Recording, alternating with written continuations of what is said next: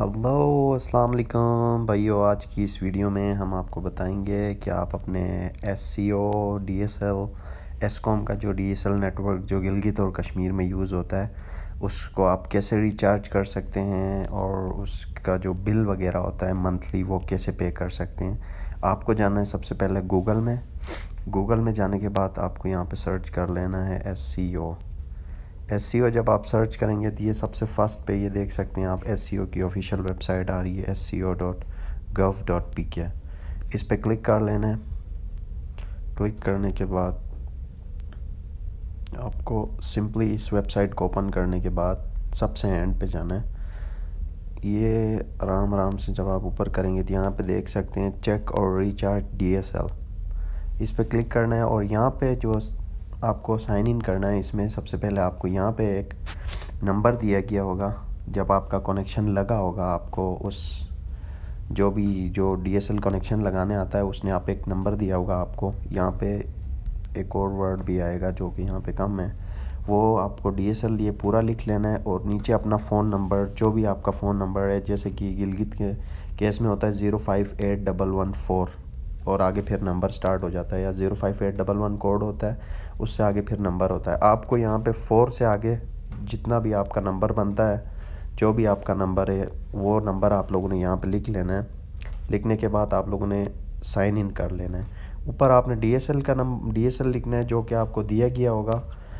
जो भी आपका कनेक्शन लगाने आता है, वो आपको ये नंबर दे देता है। और नीचे आपने फोर के बाद आगे जो भी आपका नंबर इसके बाद जब आप ऊपर डीएसएल नंबर और नीचे अपना फ़ोन नंबर दे के आप जब लॉगिन करेंगे तो ईज़िली लॉगिन हो जाएगा और यहाँ पे आपको दिखाएगा आपका बैलेंस कितना है। अगर आपने न्यू मंथ की 10 तारीख तक अगर आपने अपना बिल वगैरह जमा नहीं किया तो ये जो बैलेंस दिख रहा है यहाँ पे ये नेगेटिव में आएगा। और जो आपका पैकेज है, वो भी बता देगा कितना एमबी का पैकेज है। ये मेरा देख सकते हैं बिज़नेस पैकेज है। स्टेटस इस टाइम एक्टिव है।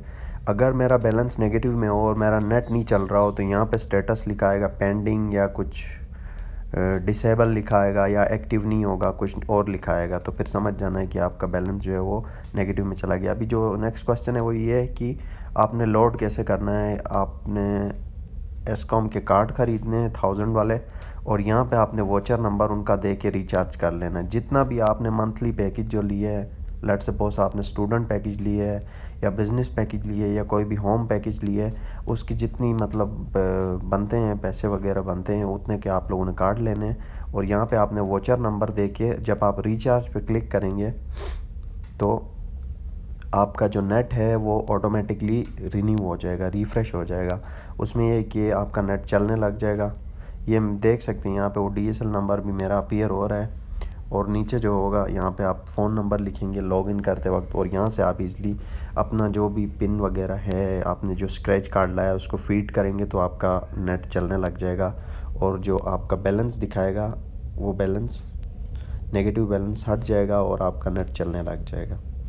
अगर आपको इस डीएसएल नंबर के बारे में पता नहीं हो तो जिसने आपका कनेक्शन लगाया है, उसको कॉल करके आप पता कर सकते हैं कि मेरा डीएसएल नंबर क्या है, वो नंबर बताएगा, और नीचे आपने फिर अपना फ़ोन नंबर दे के फोर के बाद आगे जितना भी बनता है आप लॉग इन कर सकते हैं। So thank you so much for watching take care अल्लाह हाफिज़।